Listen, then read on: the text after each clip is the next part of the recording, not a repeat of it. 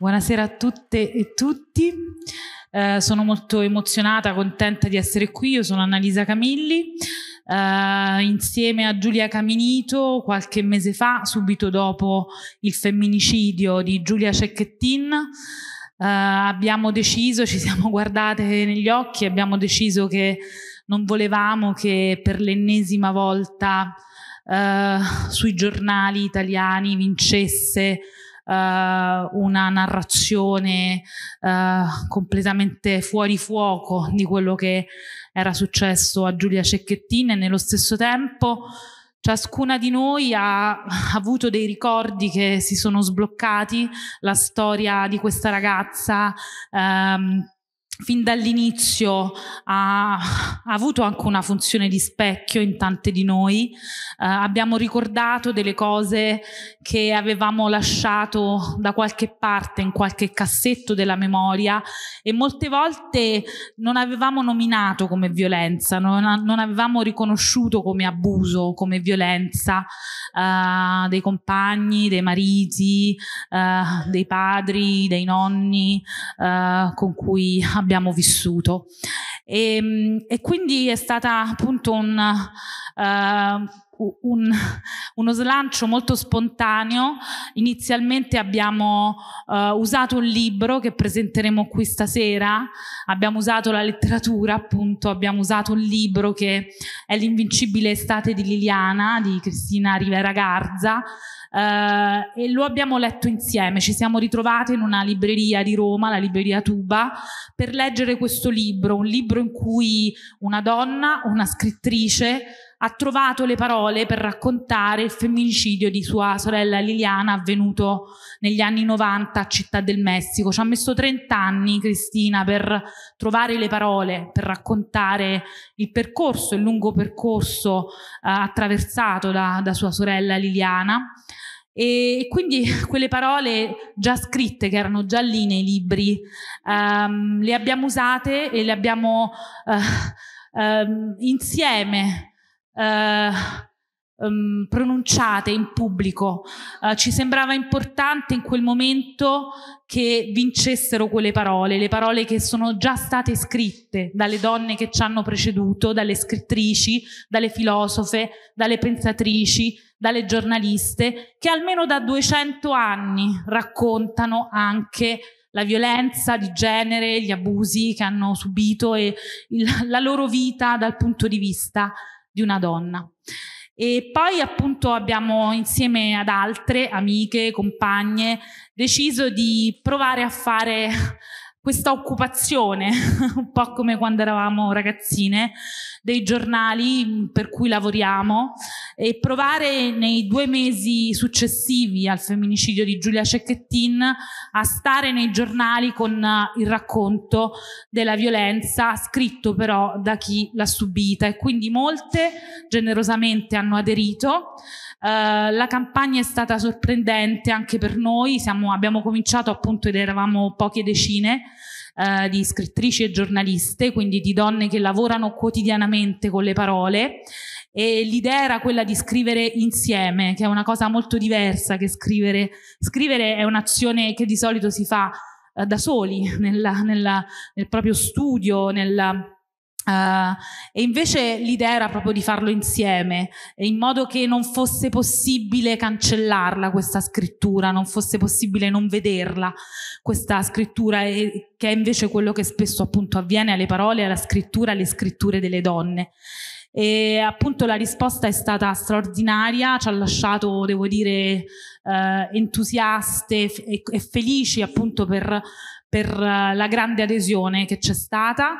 Molte scrittrici, molte giornaliste ci hanno detto che avevano, volevano raccontare, avrebbero voluto raccontare quell'episodio o tanti episodi eh, che fino a quel momento non erano riusciti a farlo e che hanno sentito le altre eh, che in qualche modo eh, le stavano proteggendo e quindi questa chiamata collettiva è servita anche a dare coraggio a tante di tirare fuori quel racconto dal cassetto. Al momento eh, la campagna è finita, ma in realtà stanno continuando ad uscire pezzi su tutti i giornali italiani Io sono una giornalista e trovo, diciamo, che sia incredibile anche che i giornali abbiano aderito in maniera così massiccia a questa campagna, abbandonando anche le logiche di competizione eh, che, che, spesso li abitano eh, e tutti quanti hanno davvero dato tantissimo spazio a questa, a questa campagna.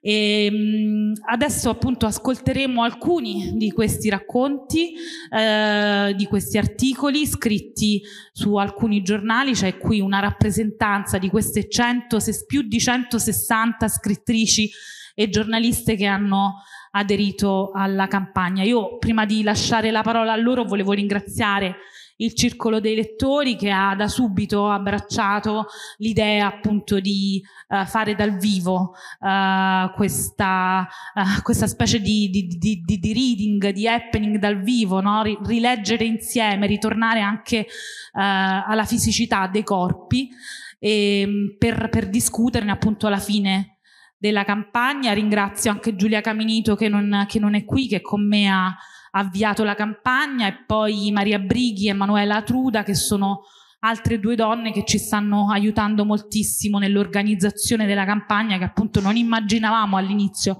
quando l'abbiamo lanciata che diventasse così, così grande. E lascio la parola a Monica Cito.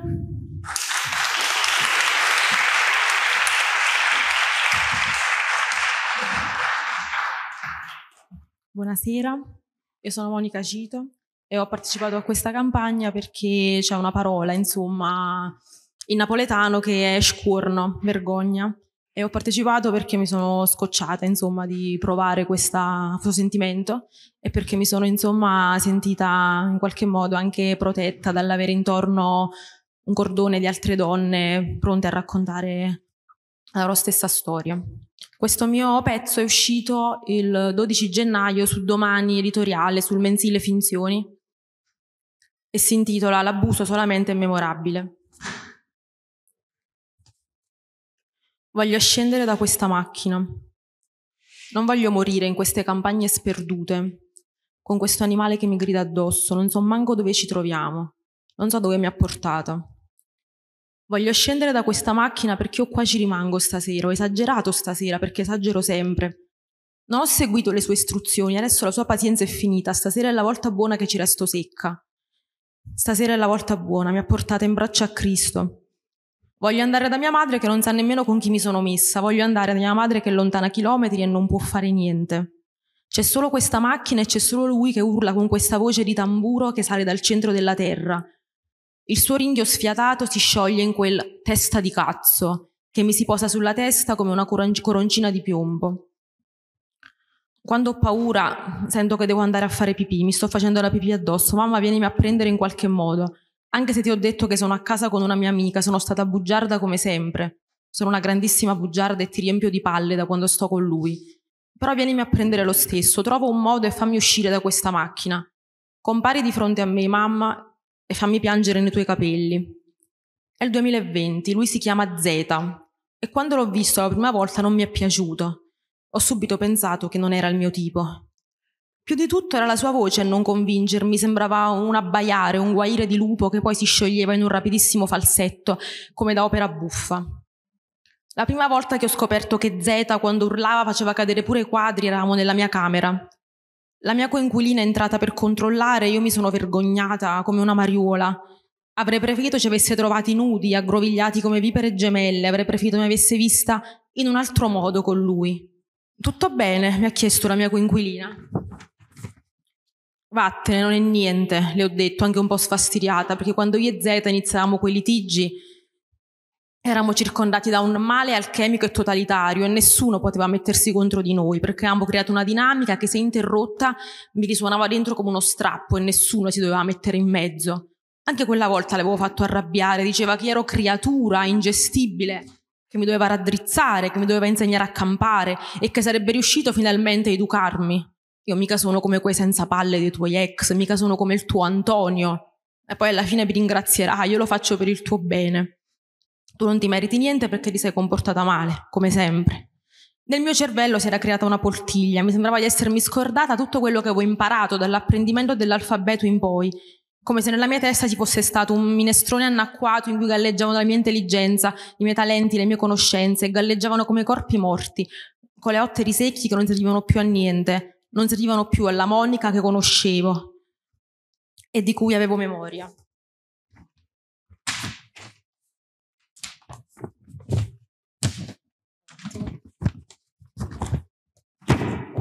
Memoria. Um, se penso all'ultima fase del nostro rapporto, ho in mente una girandola di fotogrammi che scottano come lingue di fuoco.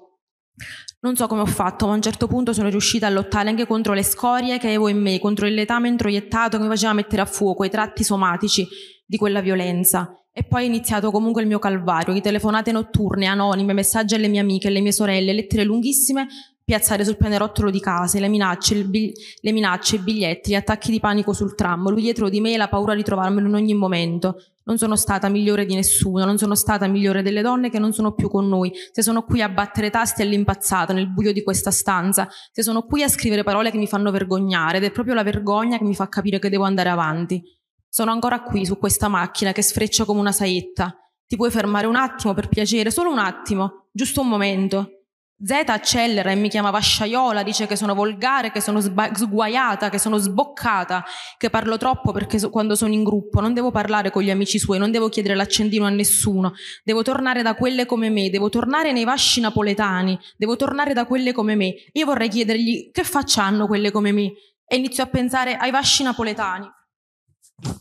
E non capisco perché questa sia un'offesa e non capisco perché in, bocca a lui diventano delle caverne bruttissime, degli andri ammuffiti dove il sole non ci entra, i miei vasci così lontani che nelle sue labbra diventano ossari, musei di teschi, cimiteri delle fontanelle. Anche stavolta si calma, perché si calma sempre alla fine. Torniamo a casa, lui va a letto quasi subito. Vieni anche tu a dormire, mo. Io sono sul balcone, finalmente riesco a chiamare mia madre. Mamma mi chiede come sto, le dico che sono a casa mia e che ho appena finito di mangiare mi chiede perché ho la voce affannata e strana. Le dico mi è tornata l'asma. Prendi un Bentelan, mi dice lei. Grazie mamma. E penso a quanto si possa amare una persona anche se non può fare niente, anche se non può proteggerti. Grazie mamma, le ripeto alzando sempre di più la voce per non farle sentire che c'è Z nell'altra stanza che mi sta ancora chiamando.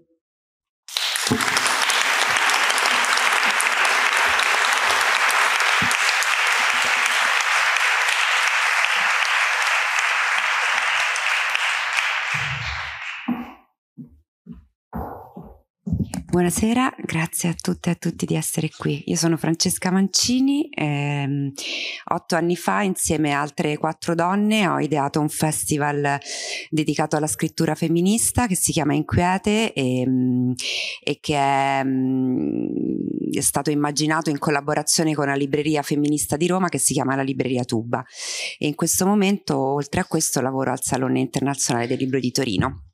Questo eh, racconto è uscito su repubblica.it il 3 febbraio. Cara Anna, in questi mesi ci siamo scritte poco. Ho la sensazione che ci siamo scritte distrattamente, per abitudine o forse per timore di non avere più notizie l'una dell'altra. Lo so che è molto difficile per voi, so cosa state rischiando ma da ieri non penso ad altro. Sono vecchia.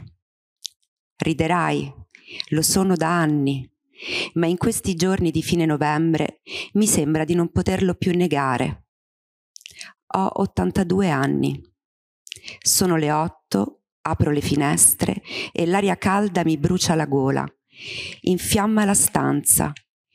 Mi rimetto a letto, faccio fatica ad alzarmi, lo sai. Come ogni mattina la luce divide a metà il letto e come faccio ogni giorno da anni, mi sposto sul cuscino accanto. Ho ancora bisogno di ombra. Le vecchie tende bianche che ho portato con me si agitano come se dovesse succedere chissà cosa, e invece qui non accade mai nulla. Su questa lingua di terra lontana siamo tutte vecchie e stanche. Siamo poche troppo lontane l'una dalle altre per incontrarci. Guardiamo il mare, diamo le spalle alle paludi. La casa è sempre più calda.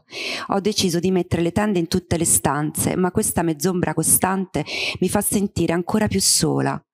La cucina al piano di sotto è più fresca, per questo ho deciso di spostare lì la poltrona di Ada. Dalla finestra sopra il lavello vedo il mare e a volte le barche rientrare. Come sai, dipende dai venti. Ieri, per la prima volta, ho sentito le gambe tremare mentre affondavo i piedi nella sabbia. Il sudore mi scivolava lungo il collo. Sotto il cappello avevo i capelli bagnati. Ero stanca. Sono così stanca che mi pare di non avere più paura. Ho perso Antonio, ho perso tua madre, ho perso tutte le altre. Mi sono sempre vergognata. Ma ora, forse, te ne devo parlare. La sera finivamo di lavorare molto tardi, io ero sempre la più lenta, finivo di chiudere le bozze sempre per ultima e ricontrollavo il colophon almeno cinque volte, controllavo la quarta di copertina con la stessa ossessione che usavo mentre osservavo le foglie delle orchidee. Ti piacevano così tanto e anche tua madre le invidiava. Ci prendevi in giro, noi la prendevamo in giro. Avevo poco più di trent'anni. La prima volta mi stuprò nel suo ufficio in piedi contro la scrivania. Fu veloce, violento. Feci fatica quasi a capire cosa stava accadendo. Avevo poggiato le bozze sullo scaffale. L'ultima parola aspettava sempre a lui, il capo. Erano le otto e facevo sempre tardi. Ero sempre l'ultima ad andare via. Non lo so, Anna, perché non l'ho mai detto a tua madre. Non l'ho mai detto a nessuna, perché rimanevo fino a tardi. Io rimanevo. Avevo paura di perdere tutto. Mai avrei pensato che questo silenzio durasse più della paura che avevo. Scusa se te lo racconto solo adesso. Scusa se te lo racconto con una lettera. Ci hanno costretti a vivere qui. Siamo state punite. Eravamo vecchie, dicevano, inutili. Ma non è la verità. Eravamo pericolose. Tu lo sai le tue compagne lo sanno. Sapevamo fare la rivoluzione. Quando il mare è troppo alto e le poche barche che abbiamo non riescono a partire per raggiungere la città, non parlo per giorni, ma ti penso, non mi rassegno a questo esilio. A volte faccio fatica a immaginarti adulta, ti ricordo bambina. Perdonami Anna, sono vecchia e sono malinconica.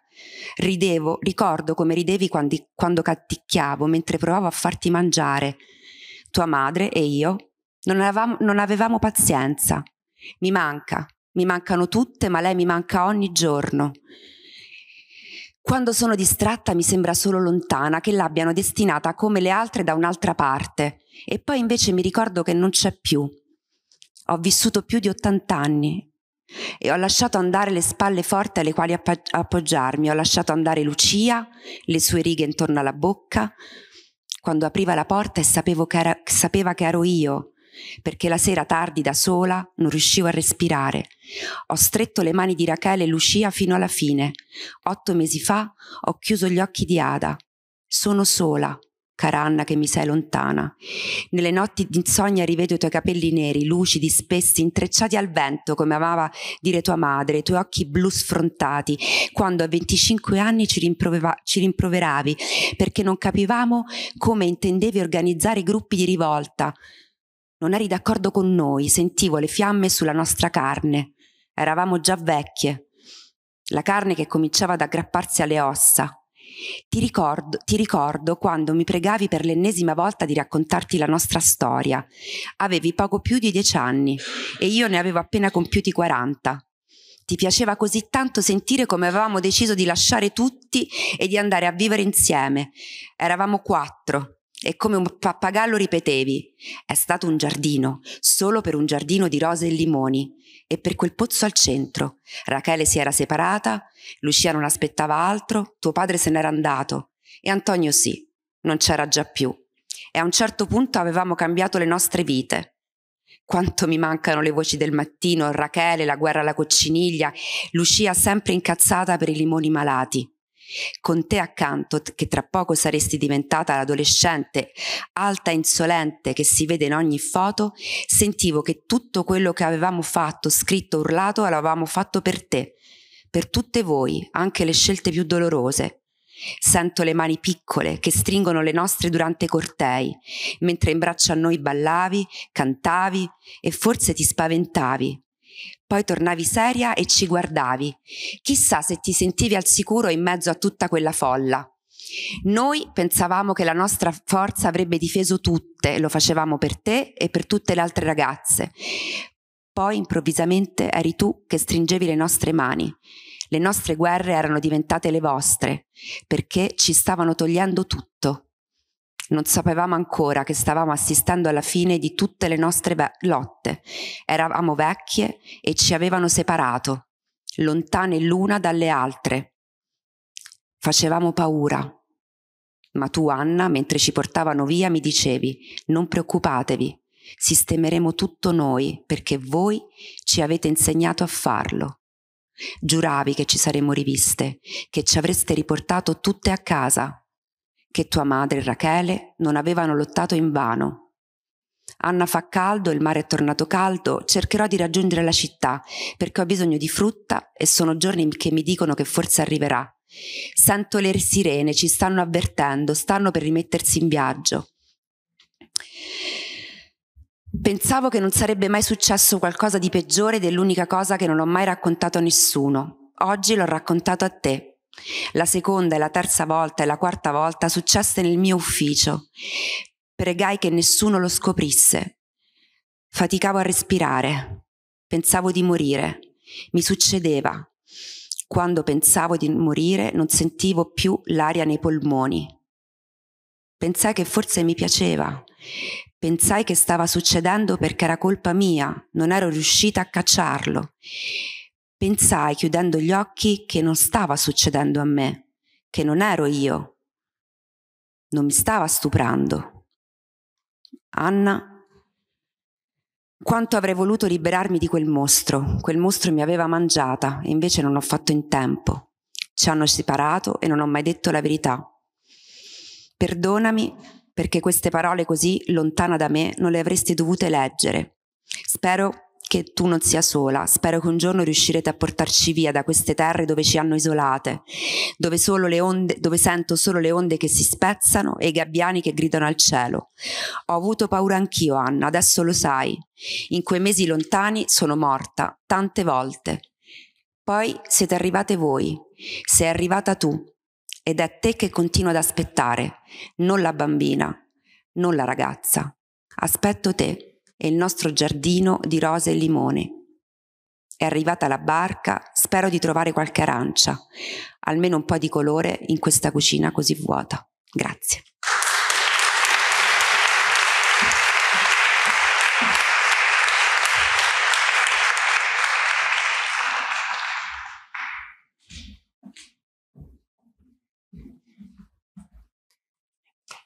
Buonasera, io sono Letizia Pezzali e sono una scrittrice di romanzi per Einaudi, ma ho anche una formazione eh, economica, sia accademica che professionale. Infatti su Domani, il giornale, mi, spesso mi occupo, scrivo di temi economici e in particolare di disuguaglianze ho deciso di aderire alla campagna di Unite perché per me la scrittura è sempre stata l'inizio di una rivoluzione personale, ehm, quindi la scrittura collettiva penso possa essere l'inizio di una rivoluzione collettiva.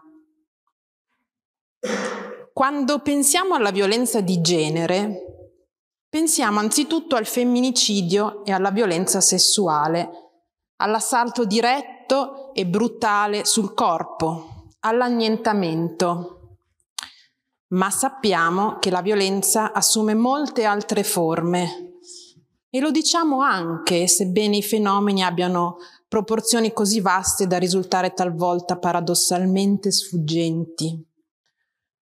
Un tipo di violenza sistemica è la violenza del lavoro e sul lavoro. Dico del lavoro e non solo sul lavoro, perché anche il lavoro in sé può assumere per le persone i contorni della violenza. Il lavoro può essere schiavitù, nei casi estremi oggettiva, nei casi meno estremi in quanto forma di sofferenza, frustrazione, mortificazione. E come sempre, se c'è una vessazione, questa assumerà per le donne una forma tutta particolare che si aggiunge alla forma generale. Le donne spesso hanno la versione rosa della, perdonatemi la parola, sfiga, che si aggiunge alla sfiga generale. Il lavoro è un terreno umano di grande ambiguità. Il lavoro per le donne, ci piace dirlo, è indipendenza, è importante che le donne lavorino, è importante che non stiano a casa a fare la calza, l'autonomia. Questa parola, che noi usiamo tutti con ottime intenzioni, la parola autonomia, tende però ad avere spesso un retrogusto giudicante. In fondo, se fai la casalinga, se non lavori, se non hai un progetto tuo e solo tuo di qualche genere, ecco, in fondo sei un po' colpevole Ora mettiamo un attimo da parte chi davvero per scelta, in piena libertà e potendoselo permettere, sceglie di non lavorare. Mettiamo da parte, insomma, i problemi inesistenti e occupiamoci dei problemi reali. Se non viviamo in una torre d'avorio, sappiamo che ci sono molte ragioni per cui tante donne, anche nei paesi avanzati, non lavorano. La partecipazione al lavoro in Italia è molto bassa, percezione femminile, come certamente sapete. Ci sono una serie di pressioni culturali, quelle restare un passo indietro rispetto all'uomo e qui non si può pensare a quei femminicidi nati dalla frustrazione di un ragazzo che non accetta che lei vada più veloce di lui. Ma poi ci sono anche questioni pratiche che però se scavi sono culturali pure loro. Tutto ciò che discende dall'idea che la donna debba occuparsi prima di tutto della casa, dei figli e degli anziani bisognosi di assistenza. Questa è quella che la, mh, mm, il premio Nobel per l'economia eh, Claudia Goldin di, di quest'anno, avrete sentito, ne avete sentito parlare, definisce disuguaglianza di coppia e lei l'ha studiata e analizzata in profondità. È dalla disuguaglianza di coppia, coppia eterosessuale ovviamente, che poi spesso discende la disuguaglianza di genere a livello professionale. Perché alle donne si chiede la flessibilità.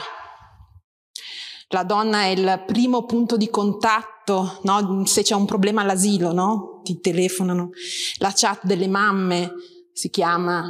Poi naturalmente ci sono anche tanti padri oggi, ma io continuo a pensare che siano delle eccezioni. Alle donne si chiede flessibilità, la flessibilità ha un costo. Noi magari questo costo non lo vediamo, ma ha un costo per la donna in termini di reddito, nel senso che tu, donna, scegli il lavoro, per esempio, più flessibile Um, quello che ti permette, magari è un bellissimo lavoro. Uh, Claudia Golding fa un bel esempio, dice una donna avvocato un marito, scusa, una moglie avvocato, un marito avvocato, tutti e due avvocati, tutti e due Harvard, quello che volete. A un certo punto eh, lei sceglierà non un brutto lavoro, eh, per carità, ma sceglierà lo studio, magari quello boutique, no? quello più piccolino, non il grande studio che ti richiede di lavorare 100 ore alla settimana, ma quello che magari è un po' più flessibile, dove il capo magari è un po' più, no? Ai clienti più piccoli, questo si tradurrà poi a 55 anni, quando tutta la, la, la gestione dei figli, eccetera, sarà terminata, anche dopo, si tradurrà ovviamente in una riduzione di reddito, no? Per la donna ah, ah, proprio si può fare il conto, no? Ovviamente se lo Stato non fornisce strutture e sostegni, poi come spesso accade in tanti posti, mh, sostegni assistenziali, la donna magari sceglierà addirittura di non lavorare e basta. A questo si aggiunge un mercato del lavoro che per le donne non è sempre proprio questa terra delle opportunità discriminazioni salariali.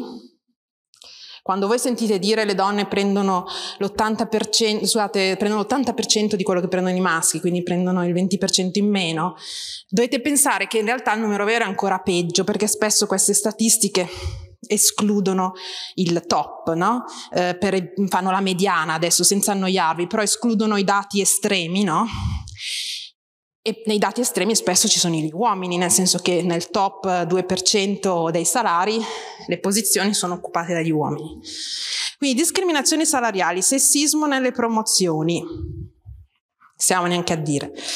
Ambienti lavorativi sgradevoli, diciamo la verità, ancora oggi nei vari modi che tutti siamo in grado di immaginare. Piccolo, piccolissimo aneddoto personale, eh, 15 anni fa lavoravo eh, per un'istituzione finanziaria e il mio capo, una persona bravissima, correttissima, ehm, doveva scrivere un memo interno per l'istituzione, gli avevano chiesto, che si intitolava Perché vogliamo più donne?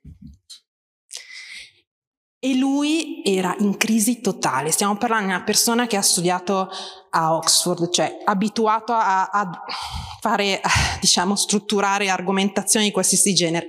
In crisi totale, al punto che a un certo punto si arrabbiò e si girò verso di me, che ero, diciamo, nel, nel floor di questo posto dove lavoravo, ero una delle poche donne. Mi guarda e mi disse: Letizia, perché noi vogliamo più donne? E io gli dissi, it's not my problem, it's yours. Cioè, il tuo problema devi scrivere te, io non te la scrivo. Avevamo un rapporto simpatico, eh? però insomma fa riflettere. Le aziende oggi si attrezzano per creare le pari opportunità, va di moda l'azienda responsabile, alcune fanno washing, no? lo sappiamo, però anche no, cioè ci sono, comunque anche c'è della realtà, no? Ma questo dà fastidio a molti, la questione delle pari opportunità. Noto ultimamente, qui di nuovo non è scientifica la cosa, è personale, però è interessante, una serie di ragazzi giovani maschi neolaureati, figli di miei conoscenti, che si lamentano sottovoce perché al giorno d'oggi se sei maschio bianco eterosessuale sei discriminato nelle assunzioni, cioè me l'hanno detto al telefono. Sì, Sai, me l'hanno detto, cioè non è che me l'hanno detto, eh, me lo invento, no. Io dico no comment. Come dico spesso, le quote rosa sono quel meccanismo per cui si cerca di avere, definizione tecnica, almeno il 20-30% di donne in un ambiente professionale. Le quote azzurre, definizione tecnica mia, sono invece quel meccanismo per cui da millenni si ha quasi il 100% degli uomini nelle posizioni di potere. Capisco sia difficile cedere il potere quando nel DNA realmente porti la certezza, no, quasi scritta, di una poltrona pronta per te.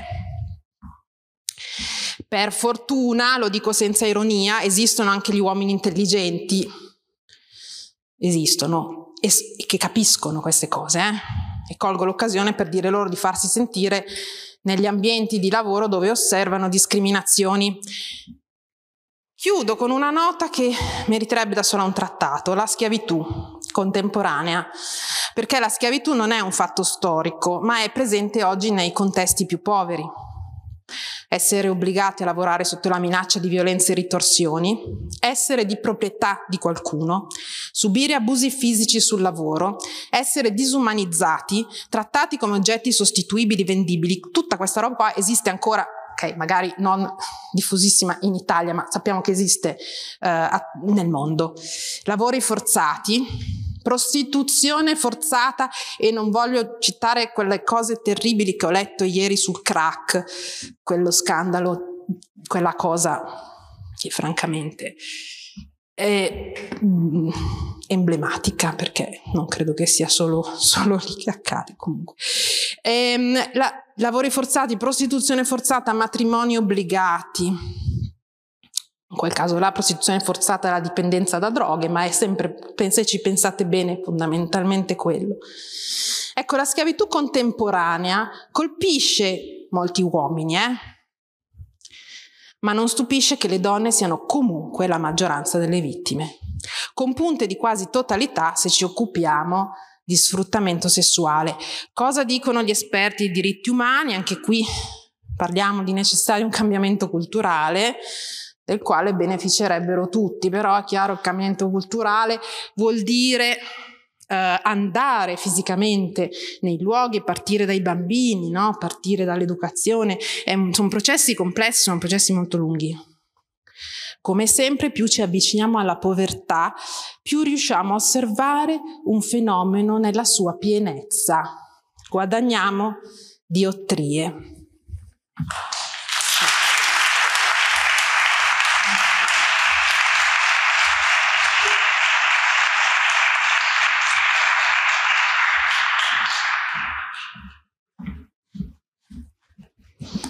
Buonasera, io sono Stella Poli, sono una ricercatrice universitaria veramente precaria che prova a mantenere barlumi di speranza e di amore per il suo lavoro. Sono emozionata, sono molto onorata di essere qui oggi. Ringrazio ancora infinitamente Annalisa e Giulia per questo invito che davvero mi ha onorata. E, um, il mio pezzo lo leggo oggi, in realtà è un pezzo che abbiamo scritte, scritto unite, io e Giusy Palomba, eh, che anche si unisce al mio ringraziamento e avrebbe tanto voluto essere qui, ma è altrettanto precaria in Scozia. E, um, io ho scritto un libro, un romanzo, eh, in cui il fulcro è una violenza che non riesce ad arrivare a processo perché i tempi della giustizia in qualche maniera inceppano questo, e, e Giuse ha scritto un libro bellissimo che si intitola La trama alternativa, che in qualche maniera mi è sembrato che eh, aggiungesse un pezzo a quello che nel, nel mio testo era quasi un, un, impasse, una strada senza uscita. Eh, la trama alternativa parla di giustizia riparativa, di un altro modo di pensare al sistema giustizia e di pensare a, appunto a, a come processiamo anche collettivamente la violenza eh, in questo caso di genere sessuale.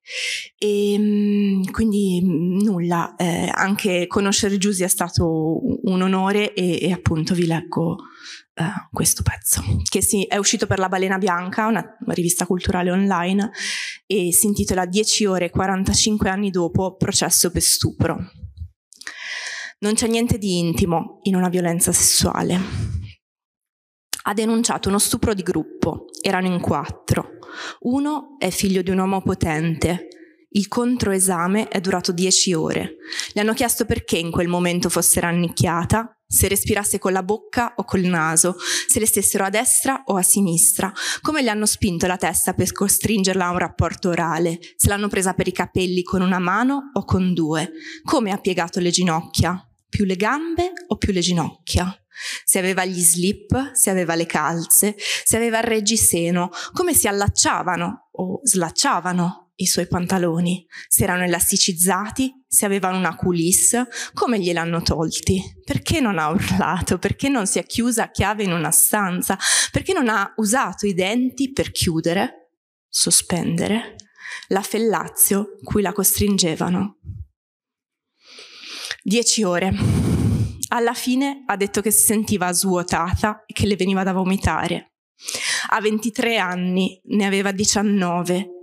Ha risposto non lo so a volte e non ricordo a volte, soprattutto verso la fine delle 10 ore.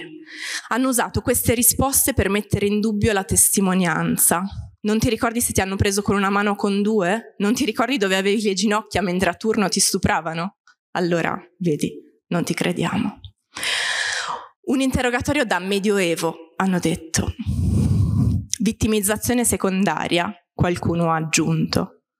Al che un'avvocata che difende uno dei quattro ha detto che non c'è niente di intimo in una violenza. O è intimo o è violenza.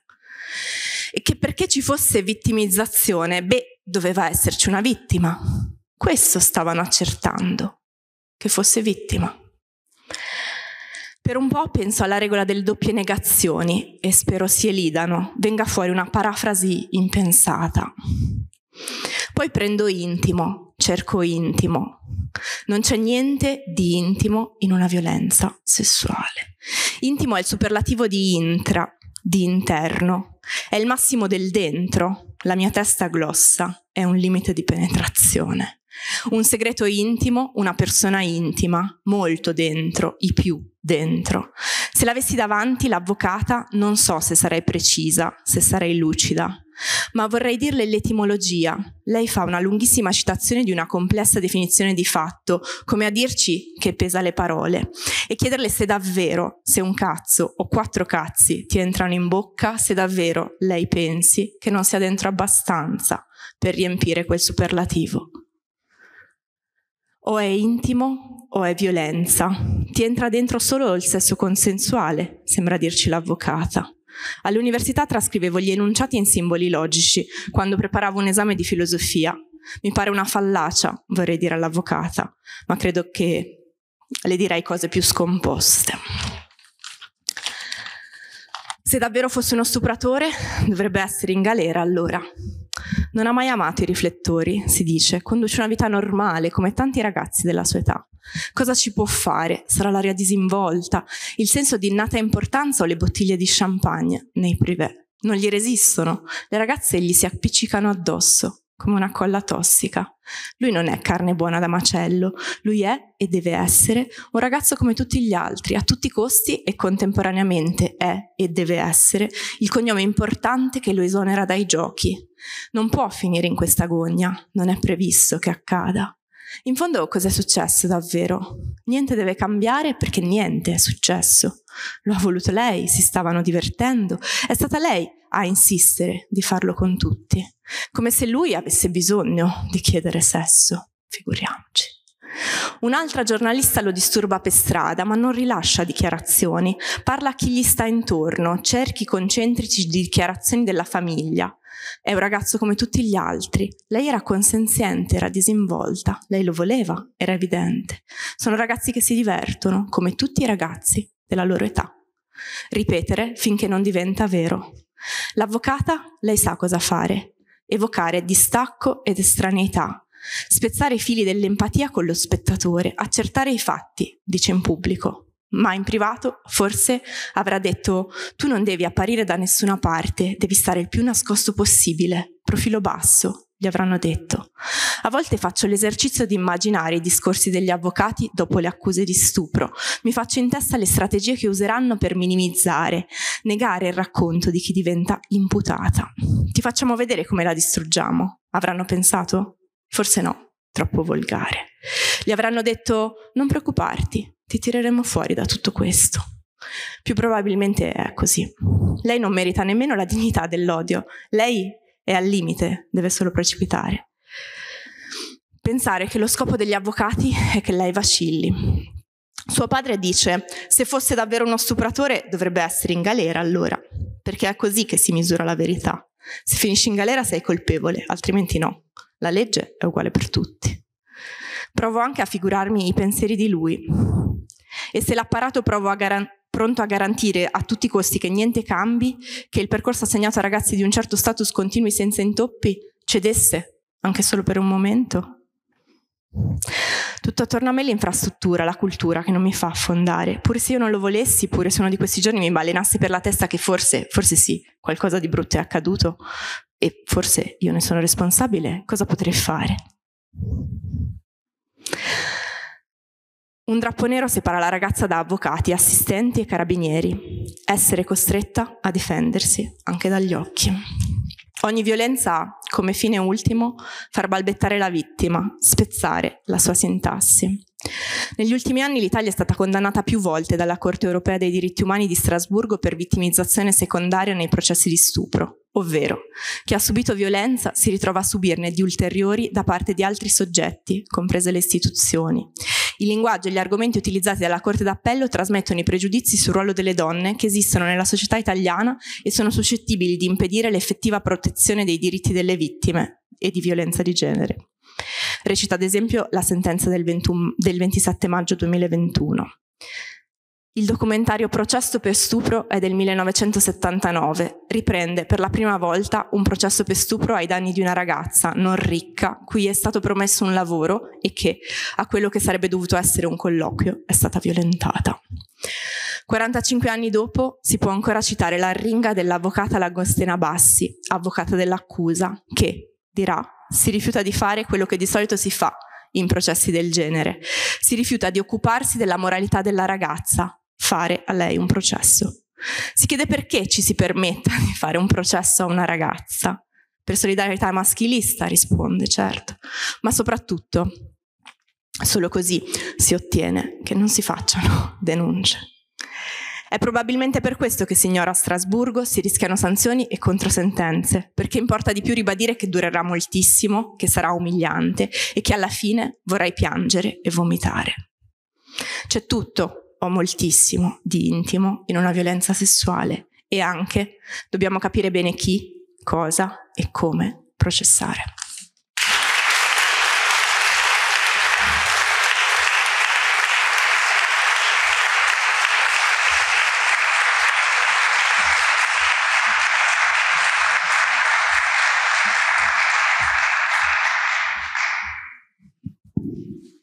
Buonasera a tutti, grazie. Eh, io sono Lorenza Pieri, mm, faccio la scrittrice, in genere scrivo narrativa, ehm, ma questo è un pezzo giornalistico che ho scritto insieme a Michela Volante e uh, quando Annalisa Camilli e Giulia Caminito mi hanno contattata per uh, aderire al progetto Unite, io avevo già in mente di scrivere questa cosa, l'avevo già proposta al post. E, um, e secondo noi, anche se è appunto forse un racconto un po' anomalo rispetto agli altri perché non racconta nello specifico una violenza di genere, si occupa del problema culturale che ci può essere alle spalle, cioè che cosa Uh, nella nostra cultura può essere migliorato o in qualche modo ha un effetto, diciamo, sul nostro immaginario. E in particolare uh, io ho mm, coinvolto Michela proprio perché parlavamo di, di scuola, cioè di come visto che dopo il femminicidio di Giulia Cecchettin si è aperta un'accesa polemica anche sulla, sulla questione della, del fare o meno un'educazione affettiva eh, nelle scuole, eh, ci siamo interrogate su cosa in realtà quello che abbiamo studiato tutti per generazioni eh, in qualche modo ha già come modello di educazione affettiva, cioè quali sono le storie che, che, abbiamo letto tutti di relazione, di quali sono le immagini, le idee che le donne hanno uh, attraverso uh, i, i, secoli di letteratura in cui i personaggi femminili sono stati uh, descritti in un certo modo e quindi abbiamo scritto questa breve storia tossica della letteratura italiana.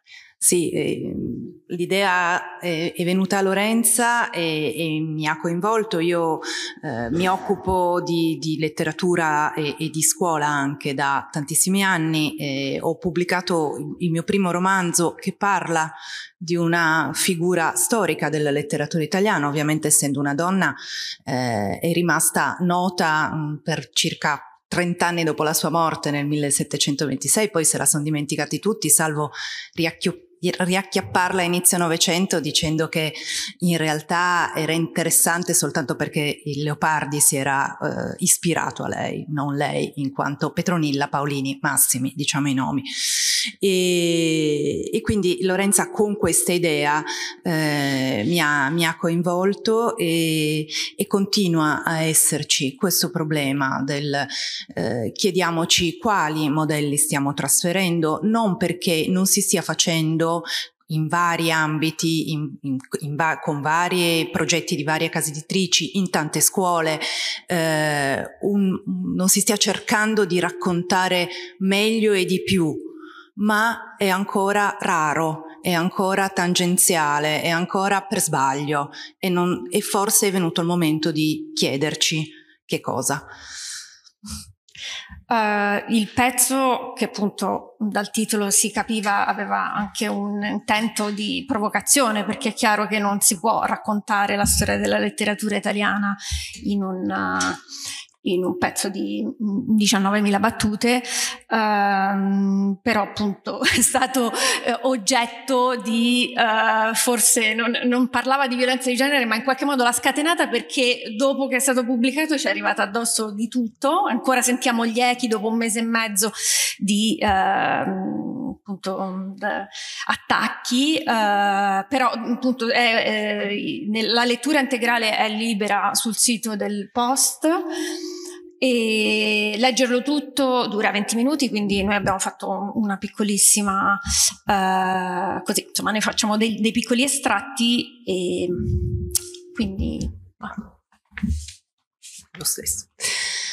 Facendo un breve excursus su quanti e quali modelli di relazione siano proposti dai classici della nostra letteratura, il quadro generale è piuttosto chiaro e desolante.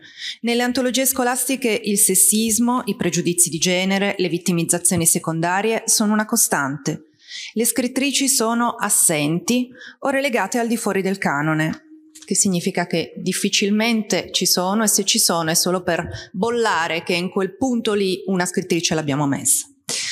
Da generazioni assorbiamo anche a scuola, attraverso la letteratura, una cultura sentimentale priva di equilibrio, perché è espressione di una visione del mondo prettamente maschile.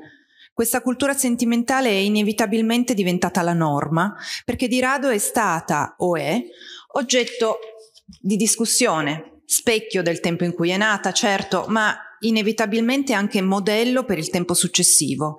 Nel corso dei secoli, per esempio, le figure femminili della letteratura italiana non si sono mai del tutto emancipate da due stereotipi possibili, l'angelo puro o la subdola tentatrice. Uh, ci abbiamo tenuto a, uh, a, mantenere una doverosa precisazione, che meno male che l'abbiamo fatta perché evidentemente... L'avevamo fatta più lunga, poi l'abbiamo asciugata ma per fortuna non l'abbiamo tolta tutta. Evidentemente l'idea eh, comunque di toccare una, um, una materia incandescente, forse già ce l'avevamo, mm con questo articolo non si vuole mettere in discussione il valore dei capolavori letterari, non si mira a cancellare nessuno dalle antologie né a dare una lettura forzata dei testi con occhio antistorico e acritico. Meno che mai si auspica lo studio di testi detossicizzati. Si tenta piuttosto uno sforzo di consapevolezza anche sui testi che ammiriamo e amiamo e che inevitabilmente sono stati modelli interiorizzati, pieni di stereotipi difficili da scardinare. Partiamo diciamo dalle origini duecentesche, dalla, dalla scuola siciliana, da Dante, Paolo e Francesca e eh, uno diciamo degli esempi eh, tossici che è sempre presente nelle nostre antologie è un racconto del Decameron che si chiama Anastasio degli Onesti e di cui vi leggerò cosa abbiamo scritto. Nella triade dei padri delle nostre lettere, Dante, Petrarca e Boccaccio, Boccaccio sembra, è sempre quello che viene percepito come più avanti perché nel Decameron affida alle donne un ruolo centrale di narratrici e, e ne fa spesso protagoniste delle novelle. Ma il Nastagio degli Onesti è una vera e propria apologia del femminicidio. La storia è questa. Il nobile Nastagio non viene corrisposto dall'amata nonostante la riempia di attenzioni e regali ma alla fine trova il modo per convincerla, facendola assistere durante un bacchetto all'aperto a una scena di fantasmi, una scena che si ripete ogni venerdì nella pineta di Ravenna, dove lui eh, allestisce un bel banchetto, la invita e questa scena riproduce una giovane nuda che corre nella pineta, viene inseguita da un cavaliere che la uccide e uh, dà in pasto il suo cuore e le sue interiora ai suoi cani. Ora, la, questa donna di fronte a questo banchetto è sconvolta e quindi decide di cedere e di sposare Anastagio. Lieto fine. ecco, è un lieto fine che viene raccontato come tale grazie a una ragazza sbranata dai cani. Una ragazza che se l'ha cercata perché non, rica- non ha ricambiato l'amore del suo uomo. Di Boccaccio forse si potrebbe scegliere anche altro, visto che insomma le novelle sono tantissime, ma guarda caso questa è una novella che ho studiato io e l'ha studiata anche mio figlio due anni fa. Quindi evidentemente è qualcosa che, che, rimane nelle antologie. Si poteva scegliere per esempio la novella di Filippa da Prato, che invece si difende in tribunale dalla condanna a morte per aver tradito il marito e riesce a essere anche assolta, però perché riesce a essere assolta? Perché dimostra che le donne sono schiave una, della loro insaziabile lussuria, quindi altro cliché. Poi andiamo avanti. Siamo andati avanti eh, ci siamo soffermate eh, sull'Ariosto e sul Tasso e, e, in particolare dalla Gerusalemme liberata, eh, ovviamente Clorinda e Tancredi ci ricordiamo tutti che, come è narrata e, e, e che eh, Clorinda eh, che, che, la scena del, dell'uccisione, peraltro meravigliosa, cioè nessuno mette in dubbio che poeticamente sia stupenda e che muova qualcosa dentro di noi di volutamente perturbante, però dipende sempre come la presentiamo e come la presentiamo a ragazzi e ragazze in, in momenti complessi della, della loro eh, formazione. E, e, oltre a Colorinde Tancredi ci sono Armida e Rinaldo, che sono protagonisti di un finale più lieto, ma senza esclusione di colpi. Armida è una me- bella maga pagana che tenta decine di crociati con promesse erotiche, intrappolandoli nel suo giardino incantato. Quando l'amato Rinaldo riesce a liberarsi, lei diventa una furia e scatena i suoi guerrieri contro contro di lui. Vorrebbe ucciderlo lei stessa, ma quando lo vede si rende conto di amarlo e fugge per tentare il suicidio come soluzione al male d'amore. Rinaldo però la salva e anche Armida, e qui si conclude la, il suo aspetto sovversivo di donna magica e volitiva, si converte, si converte al, anche al cristianesimo, si sottomette a Dio e alla volontà di Rinaldo, con parole che ricalcano quelle di Maria, la Madonna. Ecco l'ancilla tua, dessa a tuo senno disponi, gli disse, e le fialeggia il cenno.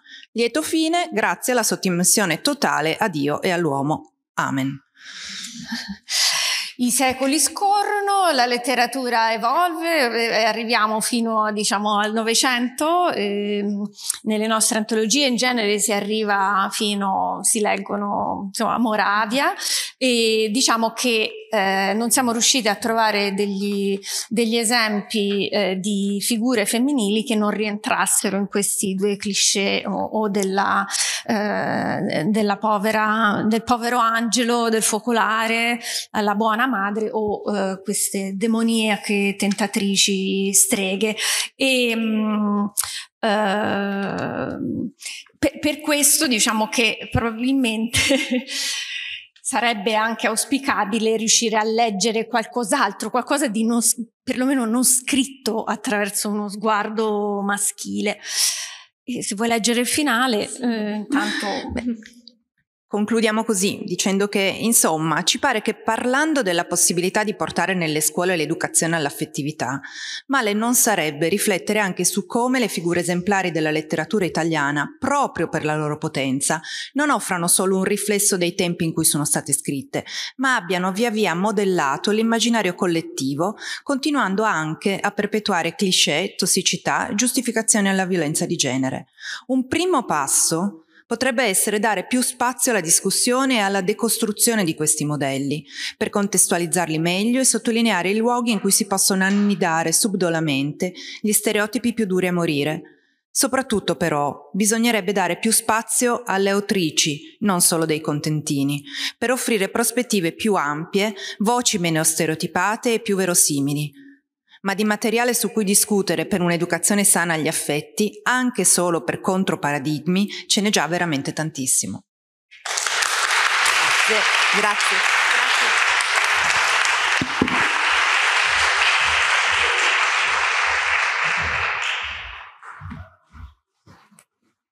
Buonasera.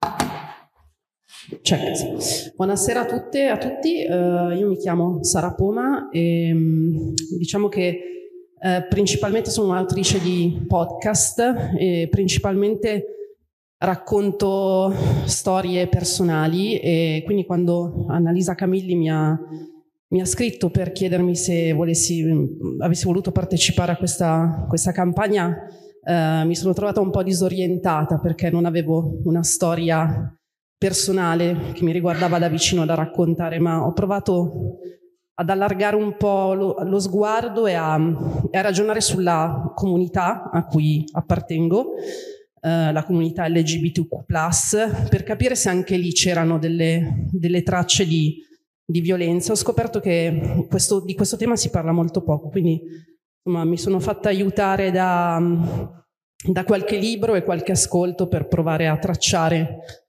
una, una strada in questo senso. E, um, leggo da seduta, se non, è, se non vi dispiace, come registro i miei podcast, anche se i vocal coach diranno che bisogna registrare in piedi, ma io preferisco, preferisco stare seduta comoda e anche un po' curva a volte. In Asking for It, un podcast, un podcast, fiction realizzato dalla Audi Art Company Mermaid Palace, c'è una sequenza lunga una manciata di minuti che attraverso il suono descrive in maniera chirurgica l'escalation di abuso all'interno di una relazione di coppia. Le voci si sovrappongono, il sound design crea disturbo, le parole si fanno minacciose, evocano la prigione di controllo in cui Goldie, la protagonista, una giovane musicista, si ritrova confinata.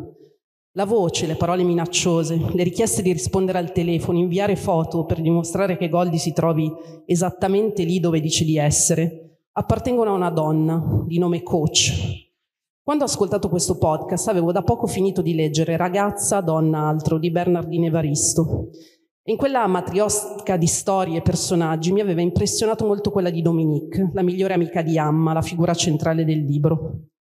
Le due donne, in una Londra radicale e post-punk, fondano insieme una compagnia teatrale, trovano il loro spazio nel mondo, fino a quando Dominique incontra una donna afroamericana, Zinga, si innamora e abbandona tutto per seguirla negli Stati Uniti. Zinga, come coach nel podcast canadese, è una persona estremamente carismatica. Entrambe emanano fascino e soggezione ed esercitano sulle protagoniste un'attrazione sessuale dirompente. Entrambe si trasformano nel giro di poco tempo in carnefici, infliggono controllo e possesso, isolano le loro donne dal mondo esterno, annientano, schiacciano, costruiscono per loro una gabbia in cui niente è più vero. In Asking for It, a un certo punto, Goldie, la protagonista, spiega l'origine della parola gaslighting e per farlo, oltre alla famosa storia dell'uomo che cerca di fare impazzire la moglie per poi ucciderla, facendole credere che le luci di casa si spengono senza motivo, cita una frase di Anna Arendt, presa dalle origini del totalitarismo. Dice il risultato di una continua sostituzione della verità con la menzogna non è che la menzogna viene accettata come verità e la verità viene considerata menzogna, bensì che il nostro orientarci nel mondo viene distrutto. Quando ho intercettato le storie di Asking for It, ragazza donna altro, dapprima sono stata contenta. È una specie di riflesso condizionato, me lo porto dietro dalla mia adolescenza senza rappresentazione, suppongo, quando l'unica cosa disponibile che parlasse di persone come me era un libro uscito negli anni venti del Novecento, Il pozzo della solitudine di Radcliffe Hall. Quando poi ho capito dove andavano a parare il podcast canadese La storia immaginata da Evaristo, ho provato un senso profondo di disagio, ma era una forma diversa da quella che sono solita sentire quando leggo di femminicidi o di violenza di genere perpetrata da uomini. In quella forma di disagio, che definirei più tradizionale, ho sempre saputo riconoscere una dose di rabbia molto precisa e facile da, da indirizzare. Rabbia nei confronti del brodo culturale in cui siamo immersi, dove le dinamiche dei soprusi degli uomini nei confronti delle donne sono chiare, dimostrate dai fatti, dai numeri, dalla rappresentazione e dalla narrazione di quegli stessi fatti. In questo caso, invece, ho realizzato subito che il mio senso di malessere era più articolato e che lì dentro si nascondeva una qualche forma di vergogna, perché quegli scar- squarci letterali rendevano evidente che quelle stesse forme di violenza che reggono sul controllo e sul sopruso, quella violenza che isola e mina l'identità della vittima, può succedere anche dentro la comunità di cui orgogliosamente faccio parte. Può addirittura essere perpetrata da una donna su un'altra donna. Per liberarmi dalla vergogna fastidiosa generata da questa realizzazione, ho provato a cercare nei dati qualche forma di conferma prestabilita. Volevo capire se nelle donne che esercitano violenza sulle proprie compagne si annida una forma di patriarcato interiorizzato. Ero sicura di trovarne traccia, ma ho trovato altre cose più lampanti. Il report italiano più recente è stato realizzato nel 2023 da Rete Lanford, si chiama Broken Rainbow ed è interessante pensare che l'immagine di un arcobaleno che si spezza venga utilizzata per spiegare che la violenza si annida anche dove non ci si aspetterebbe, dentro una comunità che in fondo, da sempre, lotta solo per rivendicare il diritto di esistere e di vedere riconosciuti i diritti civili fondamentali. Un tratto che risulta comune a tutte le persone che hanno partecipato alla survey, 200 in tutto, e hanno dichiarato di aver subito forme di violenza è che spesso è molto difficile riconoscere i segnali di abuso, stabilirne la gravità e quindi chiedere aiuto. Quando si decide di farlo, la, bar- la barriera all'ingresso è molto alta per mancanza di centri antiviolenza specializzati e quindi nella maggior parte dei casi le vittime si rivolgono ad associazioni LGBTQ per le donne lesbiche denunciare è doppiamente difficile perché subentrano ulteriori complessità rispetto a quelle già, che già normalmente vivono tutte le vittime. La parola che ricorre più spesso è paura. Paura di non essere credute dal momento che chi perpetra la violenza è un'altra donna e, e per alcune che non hanno ancora fatto coming out in famiglia o al lavoro, paura di essere vittime di outing.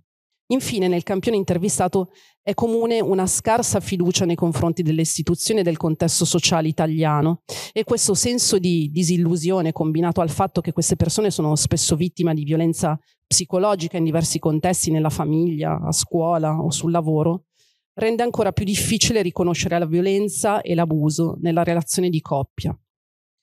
Questo senso di confusione e incapacità di capire se l'abuso che si sta vivendo sia vero o sia immaginato mi ha fatto pensare a un altro libro importante che ho letto su questo tema. Si chiama Nella casa dei tuoi sogni ed è un memoir scritto dall'autrice americana Carmen Maria Machado.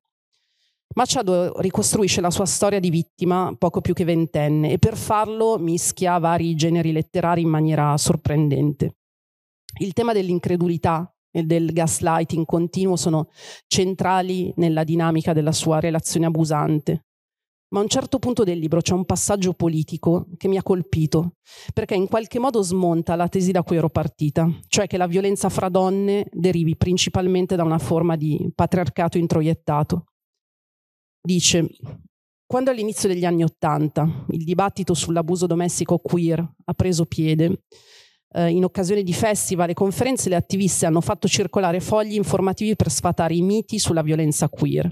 Tra i miti da sfatare, mito è solo un fatto emotivo, psicologico, quindi non conta. Mito io posso gestirlo, a differenza delle sue tre ultime ex amanti. Mito, la cosa più importante è restare insieme e risolverlo. Mito, siamo in terapia, quindi adesso si risolverà ma alcune lesbiche hanno cercato di limitare la definizione di abuso alle azioni degli uomini. Le lesbiche violente stavano usando il privilegio maschile. Le donne, che erano donne, non si comportavano in maniera violenta con le loro fidanzate. C'era anche la scusante che semplicemente era una questione complicata, il peso della pressione della società eterosessuale. Si sono versati fiumi di inchiostro allo scopo di decentrare le vittime, e le donne violente hanno spesso agito impunite. Si è continuato ad andare in tondo, girando intorno a verità fondamentali che nessuno voleva guardare dritto in faccia, come se fossero il sole. Le donne possono abusare di altre donne, le donne hanno abusato di altre donne e le persone queer dovevano prendere seriamente questo problema perché non lo avrebbe fatto nessun altro al loro posto. Mi domando quante volte io stessa sono stata condizionata dai miti che menziona Machado, quante volte di fronte a un'amica che mi raccontava di una fidanzata gelosa e possessiva sono stata più indulgente che se si fosse trattato di un fidanzato. Questo non significa dubitare dell'esistenza di un macigno sistemico, culturale e maschilista che è alla base della violenza di genere, ma realizzare con fatica e dolore che la violenza esiste anche dentro la comunità LGBTQ che dalla violenza ogni giorno, da sempre, in molte parti del mondo cerca di proteggersi. Questo è solo un primo passo per capire come provare ad arginarla. Servono sempre più persone che si, che si interrogano anche su questa forma di violenza. Servono dati, servono professionisti che possano aiutare chi si trova a vivere queste situazioni di abuso. Serve approfondimento e tempo, anche se i pochi dati a disposizione indicano che non ce n'è moltissimo. Serve rappresentazione, e c'è bisogno di parlarne ogni volta che si può, a costo di guardare dentro un buco nero e alimentare domande sempre nuove prima di trovare le risposte necessarie. Solo così le vittime potranno forse sentirsi meno sole. Grazie.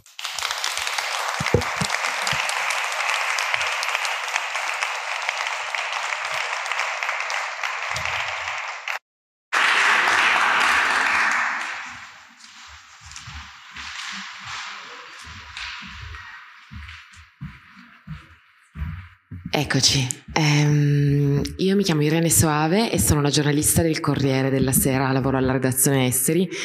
E in realtà quando eh, ho saputo della campagna Unite ho aderito io di spontanea volontà, ho scritto io alle, alle promotrici perché nel, nella ragione sociale di questa campagna c'è una parola che a me piace molto e che ho visto che è necessaria e la cui necessità è stata evidente anche in alcuni degli interventi che ho sentito prima, come quello di Letizia Pezzali, molto bello sul lavoro, che è un terreno d'ambiguità, e quello che abbiamo appena sentito sul non capire bene cosa ti succede. Allora, questa, questa caratteristica, questa nebulosità di, di moltissime forme di, di, abuso non solo sessuale e moltissime forme di prevaricazione non soltanto sul lavoro, è un terreno che mi interessa molto perché secondo me è pochissimo discusso perché è un terreno che è abitato dalla vergogna, che è un grandissimo zittitore, ed è invece cruciale parlarne, anzi, come dicono le promotrici di Unite, nominarlo. Sto venendo disturbata dal mio stesso cellulare, qualcuno può spegnerlo? È un record? Ah no, non era il mio. no, perché... E, um, loro, eh, la campagna si prefiggeva, si prefigge eh, di nominare la, la violenza e secondo me questo è un atto molto importante. Io eh, avevo in, in, animo, perché lavoro alla redazione esteri, di scrivere di una mh, disputa mh, tra le istituzioni europee che è andata, in, in, è andata, in, scena fino al 6 febbraio quando si è raggiunto un precario accordo che in realtà non piace a nessuno sulla definizione dei reati sessuali. Molto in sintesi la Commissione europea voleva eh, una definizione anche di stupro su cui tutti gli stati europei concordassero, ma il Consiglio che raduna i, i governi dei Paesi membri non non, non, è riuscito, non, è riuscito, a elaborarla. Eh, poi non l'ho scritto proprio perché in realtà la questione si è, si è sfilacciata. Ho portato però, mh, quando mi hanno invitata a questa serata, un pezzo di un libro sul lavoro che ho scritto da poco, che si intitola Lo Statuto delle lavoratrici in cui c'è un capitolo che è dedicato alle molestie sul lavoro e volevo leggervene un pezzo perché è una storia mh, di quelle che ho raccolto. Io ho raccolto tante storie attorno a me e poi ho cercato di raccontarle in modo un po' narrativo, perché secondo me di cronaca ce n'è tanta, di sentimenti pochi, però secondo me contano i sentimenti. E quindi ve ne leggo un pezzettino. E credo che io concluderò questa serata e cerco di sbrigarmi. Fino all'altro ieri eri brava, bravissima, poi è successo qualcosa e non lo sei più. Hai consegnato un lavoro in ritardo? No. Hai insultato qualcuno? Ma che? Hai trascurato un ultimo controllo e mancato di evitare una cazzata, non che tu sappia, ma sei una lavoratrice e dunque in azienda puoi ricevere diversi trattamentini speciali. Lui è uno piacente, sa ascoltare, è garbato. Corregge le tue sviste con dolcezza, una mano sempre sulla tua spalla. Tu sei molto brava, sei molto molto brava. Questa è giusto una svista. La segna come a scuola, con un trattino di stilografica azzurra, la sua sola eccentricità. Te lo spiega perché così la prossima volta ci fai attenzione, si scusa persino per la pedanteria. Ci va più precisione, dice, più puntualità. Ma tu gli riporti in mente se stesso quando era giovane, l'entusiasmo, la fretta di farcela, le mille idee, sei tutta potenziale. Finalmente qualcuno ti vede, ti trova brava, ha interesse a formarti.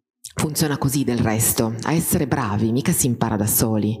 Tu ti manifesti per come sei, e le opportunità arrivano e il suo sguardo paterno, il suo favore, sono opportunità. Lei meritate, sei brava. Cosa vuol dire brava? Beh, brava.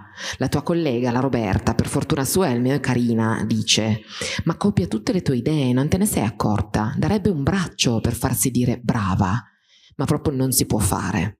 Il talento, e ti guarda negli occhi, o si ha o non si ha tu è sottinteso ce l'hai. Vieni a pranzo? Certo che vai a pranzo. L'appuntamento è nel solito posto, raggiungibile a piedi, ma non nei paraggi dell'ufficio, in modo da non incontrare colleghi. Ci incontrate regolarmente colleghi, ciascuno con una commensale mai vista. Il pranzo è un tripudio di inside jokes, di malignità su altri colleghi. Quello non ha voglia di fare un cazzo, la poverina, cioè sempre la Roberta, non è portata, quella è una sgobbona, quello è un baciapile, quell'altro è un raccomandato, da cui si consolida la certezza che siete voi i più bravi. Tu sei bravissima, è ancora tutto da dimostrare. Lui è stato penalizzato dalle dinamiche di questo posto, che se fosse un po' meno tossico dirigerebbe, quindi pur essendo il più bravo è mezza tacca dove si merita, sotto dove si merita, però meglio così così che piegarsi alle dinamiche di questo posto. Questi pranzi carbonari hanno luogo ogni tanto, un po' più spesso di una volta al mese, un po' meno spesso di una volta a settimana. Al tuo compagno non li dici mai e a lui non dici mai che hai un compagno. Mangiate bene e bevete meglio, con la scusa che sei precaria, offre sempre lui. Sei precaria, Fai parte di un gruppo di consulenti esterni per la digitalizzazione chiamati temporaneamente ormai due anni fa e ora indispensabili alla vita dell'intera azienda. Ed è vero che guadagni mezza lira, ma per fortuna, e non manca molto, una stabilizzazione alle viste grazie anche ai suoi buoni uffici, a settembre l'azienda offrirà la possibilità a chi lo vuole del gruppo di passare tra i dipendenti e chi non lo vuole, stipendio quasi raddoppiato, contributi, stabilità. Non ci sarà posto per tutti, tutti, tutti, ti ha fatto sapere lui riservatamente, c'è per i più bravi. Tu dormi pure tra due guanciali, vieni a pranzo? Certo che vai a pranzo. E a cena? L'invito arriva in un pomeriggio di piena estate su WhatsApp come al solito. Sei precaria e sei giovane e sei incline a rimuovere alcuni dati di realtà dal tuo campo visivo, ma d'accordo, ma non sei proprio Heidi. È un invito per le 10 di sera in un ciringhito urbano dietro casa di lui, quando la moglie è in vacanza. Il mondo si è evoluto dal 1955 di quel film con Marilyn, ma non tutti i tuoi colleghi hanno fatto lo stesso. È luglio e già alcune delle loro famiglie se ne sono partite per i due mesi al mare. Fa ridere, ma io mi sto incazzando. No, no, no, ma fa ridere, cioè l'intento, di scr- l'ho scritto così, ma mi fa incazzare. Comunque, i colleghi maschi sono garruli, goliardici, giovanili, lepa fasciata in spavalde camicie di lino. Ci vieni a cena? Il messaggio lo leggi nell'anteprima. Disattivi la spunta blu, fai sparire l'ultimo accesso, spegni lo schermo, ma no che non ci vai, ma è scemo, ma che domanda è? Oddio, però lui dirà, perché a pranzo vai volentieri e a cena no? Perché dopo pranzo non è previsto scopare, ma siamo sicuri che vuole scopare. Magari è un invito normale. La tua amica Eleonora lavora in un'altra azienda, il suo capo è parecchio più diretto. Nell'ultima trasferta ha indetto una riunione urgentissima nella propria stanza e ci si è fatto trovare nudo. Ma infatti, guarda che alla fine sarà un invito normale. Dopodiché sei per non andare lo stesso. Eh, Eleonora compresa, sono tutte storie che ho raccolto, sono tutte storie, di, non le ho inventate, non ho inventato niente. Grazie mille per l'invito, ma stasera sono KO. Brava, così chiunque insisterebbe. Aspetta. Ti ringrazio tantissimo e mi piacerebbe molto, ma... Ma cosa? Ma non voglio scopare. Ma che cazzo mi inviti a cena? Ma ho un ragazzo? Ma ho sonno? Ma che invito è? Non ti offendere, ma ecco, così sì che lo offendi. Cruciale, prioritario, non offenderlo. Essere leggera, ignara, rimbalzare con grazia infantile. Grazie è, è, è top tre emoji dell'anguria. Bello il ciringhito, ma stasera ho un altro impegno, altre tre emoticon dell'anguria. Rifacciamo presto. Oh, oh, oh, oh. Ma chi ha scritto questo messaggio? Una redattrice di Cioè? Grazie, stasera non posso, ci vediamo al lavoro. Formale, algido, tanto varrebbe allora scrivergli grazie, non voglio scopare. E anche tu, cazzo, ma no, perché non ci puoi scopare? Una volta e via, dai, che è più pensare, è più difficile a pensarlo che a farlo. Potevi pensarci prima di accettare tutti quegli inviti a pranzo. Sei una cretina, non ti sei mai sentita meno di mondo e sei certa che qualsiasi cosa tu scriva sarà involontariamente sgarbata e sei una cretina. Aspetta un attimo, chi l'ha detto che vuole scopare? Chi ha detto soprattutto che tu abbia visualizzato? Risponderai più tardi con un mendace leggo ora. Anzi, domattina, ieri sera ero KO. Metti via il cellulare. Solo che la mattina dopo lui al lavoro non c'è. Ha una trasferta di cui non sapevi e poi ha le ferie e quando rientra hai le ferie tu. Trascorrete insomma un mese senza vedervi e l'ultima settimana di agosto la musica è cambiata. Consegno una presentazione in tempo, ok, all'ultimo minuto, ma in tempo. E invece no, devi esserti confusa, andava consegnata ieri, sei una cretina. Le stampe vanno in tre copie sulla sua scrivania, il telefono fisso sulla tua suona e lui, vieni nel mio ufficio. Attraversi l'open space davanti a tutti, non ti eri accorta che i tuoi tacchi fossero così rumorosi? Arrivi da lui e c'è un refuso, ristampagli le tre copie. Indica il titolo, lo vedi il refuso? È qui. Non vedi nessun refuso. Lui resta calmo. Se ti dice che c'è un refuso, c'è un refuso. Ristampagli queste copie. Tu stampi, torni al tuo posto e appena ti sei seduta il tuo fisso squilla di nuovo. Vieni nel mio ufficio, di nuovo, di nuovo. Pinzi le stampe e ti affretti. Riattraversi l'open space e ti pare di disturbare tutti. Lui guarda le nuove stampe, adesso andrebbero anche bene, ma non mi piace come hai impaginato le slide. Le slide non vanno bene, i dati non sono aggiornati, non abbiamo più molto tempo, finisci per consegnare il lavoro in piena notte, dopo 50 anni rivieni nell'open space, ma il giorno dopo non va comunque bene. Sai chi ha preparato le slide meglio di te? Roberta. I pranzi carbonari non riprendono. In compenso, a, alle 12 sparisce per un'oretta proprio Roberta, ma non era una degli scarsi. Eh, però è affidabile, non come te, che sei sempre quasi in ritardo, sei una cretina. Hai offeso qualcuno? Hai offeso lui? Fai l'errore di chiederglielo. Ho sbagliato qualcosa di recente? Beh, beh. Sei poco puntuale, sei anche molto arrogante, pensi di non avere più nulla da imparare. Pensi che il rispetto della forma sia pedanteria, ci degni della tua presenza. Sbreghi di stilografica azzurra falciano una slide dopo l'altra dell'ultima presentazione che gli hai consegnato. Non te lo dico più, mi pare una causa persa. Ai miei tempi i capi erano vecchi a scuola. Dice, sviste come le tue, le ho pagate care, non tutti sono come me. Ci va più precisione, dice, più puntualità. Che peccato che tu non lavori sul tuo potenziale. Di questo passo, e ci tiene a dirlo come se tu non lo sapessi già, non è proprio detto che tu possa passare a settembre, non è proprio detto. Settembre arriva e non arriva in effetti il contratto. Nel gruppo dei bravi è entrata però Roberta. Sulla sua scrivania, il giorno dopo la firma, spunta un mazzo di rose da un ammiratore segreto. Il nome sul biglietto, c'è bisogno di dirlo, è scritto in stilografica azzurra. Ho finito.